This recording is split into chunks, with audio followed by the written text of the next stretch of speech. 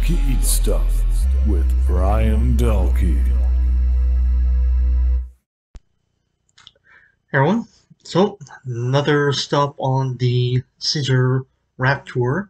Today went with uh, Smoky's, uh, which is the uh, smoked meat place that I really liked.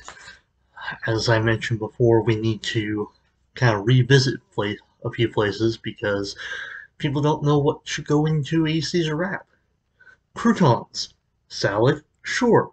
Wrap, no. Likewise, tomato and onions. Uh, anyway, so here's the, the look. Definitely get a lot of fries in the uh, this combo, and it looks like the wrap is grilled a bit. Oop. Well, back from bacon here. Alright, let's have a bite of this. Mm.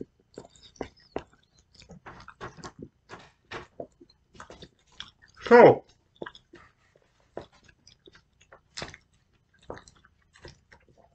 well, they're stuck with it, and yeah, that was a bit messy. But first impression, eh, not too bad. That mouthful touch dry, maybe? But still, not bad. The, the fries are alright, full.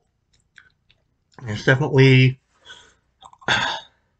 definitely uh, bacon pieces in it and sliced up chicken. Maybe could have used a used a touch more uh, dressing, but we'll see as I go. So I'll leave that. We'll have final impressions. Hopefully I won't make as much of a mess.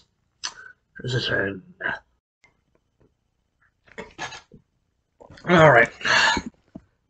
So, the, uh, the rep, uh, wasn't too bad. I think it could have used some more dressing, more sauce. Uh, at times it was, I don't know, not necessarily dry, but mm, not as creamy as it should be. If that's if that's the word to use, not too sure, but it was okay. The uh, bacon was was good. The the chicken was definitely definitely chicken. Uh, and uh, fries were alright. So yeah, that's it's probably an improvement over the uh, the last place, but still still some room for improvement. So we'll see where the next one goes. The next one may be a, uh, live on location. So we'll see how that goes. Otherwise, hope everyone has a good rest of the week and good weekend.